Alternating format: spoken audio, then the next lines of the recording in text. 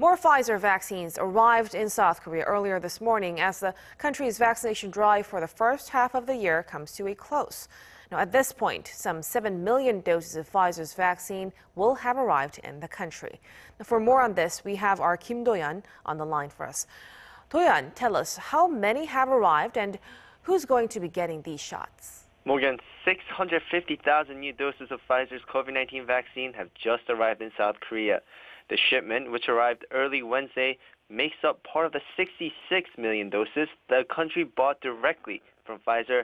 And as you mentioned, 7 million of those are due by the end of June.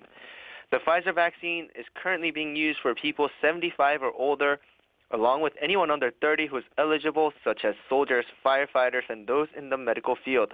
Also added to the Pfizer recipient list will be those that were to receive the shots in the first half of the year, but had their reservations canceled when supplies ran out.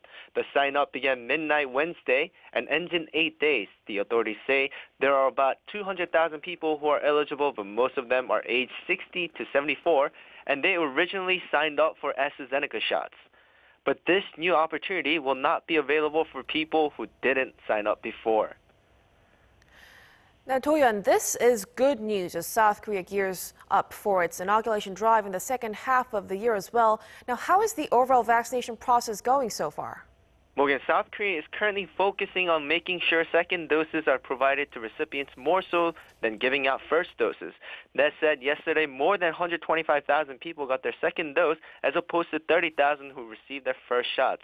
As of now, just over 15, mil- 15 million have received at least the first dose, and of them, more than 4 million have received either both or Janssen's one-shot vaccine.